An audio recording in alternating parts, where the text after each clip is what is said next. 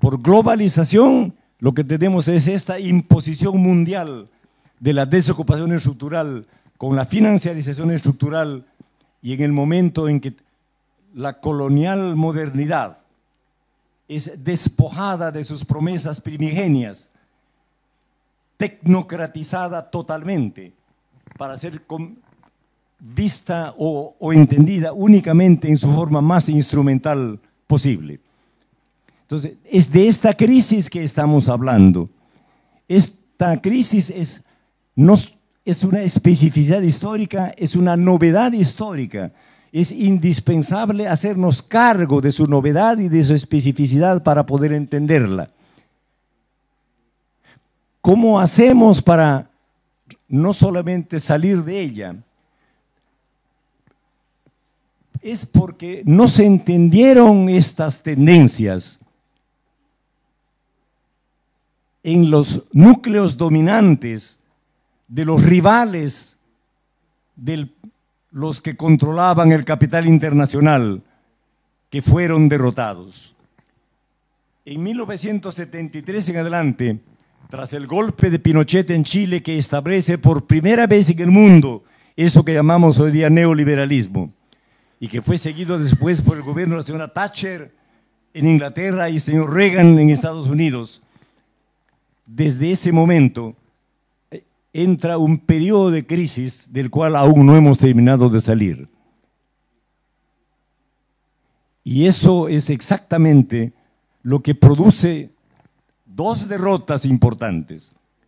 Primero es la desintegración de eso llamado clase obrera industrial mundialmente. La desintegración de sus organizaciones sociales, sobre todo sindicatos la desintegración de los partidos políticos a los que estaban asociados y finalmente la desintegración y el colapso de eso llamado el campo socialista, que se llamaba el socialismo realmente existente, porque se rebautizaba tanto más cuanto menos socialismo era, obviamente. ¿Qué quería decir esto? ¿Por qué no entendían? ¿Por qué no es estaban percibiendo esto que desde América Latina y otros lugares sí comenzaba a percibirse. Esto es mi insistencia, porque no se puede continuar trabajando con una ideología política de izquierda fundada en una epistemología de derecha. Porque toda la epistemología que hemos estado usando, sobre todo en eso llamado materialismo histórico después de la muerte de Marx, es una epistemología producida exactamente como parte de esto que estamos aquí llamando la colonial modernidad. El piso mismo de esa nueva epistemología cartesiana es mística, metafísica en su origen y en su carácter.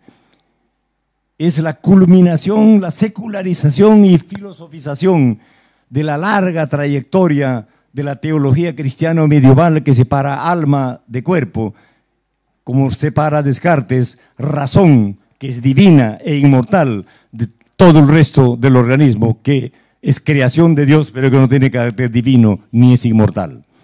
Esto es místico, totalmente metafísico, pero pasó a ser el, piso mismo, la base fundamental de la epistemología llamada moderna en su sentido instrumental. Esto es lo que permite toda esta idea llamada de progreso de evolución, de evolución unilineal, unidireccional, que fue finalmente lo que permite entender cada vez menos, conforme se va tecnocratizando incluso esa percepción. Por lo tanto, usando de manera cada vez más instrumental y rudimentaria su propia epistemología. Conforme más pasa eso, la derrota era cada vez mayor. Muchos hemos hablado de esto en América Latina. Hemos discutido la posibilidad de que eso es tarde o temprano estallara. Recuerden que una cosa como la Unión Soviética no fue la víctima de una guerra, de una catástrofe nuclear, de una catástrofe natural o de una gran revolución interna.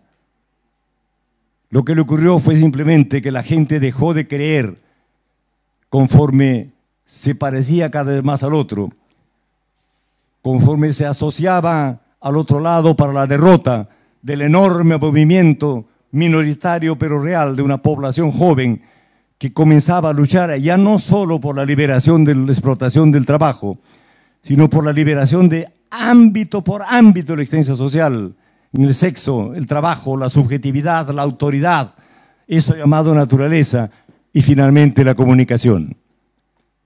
Entonces, estamos, estas tendencias bajo la nueva conducción del capital global mundial son cada vez más perversas y peores. ¿Por qué? Porque la resistencia está comenzando. Y por esto el patrón de poder es cada vez más conflictivo. Y por eso es y va a ser cada vez más violento.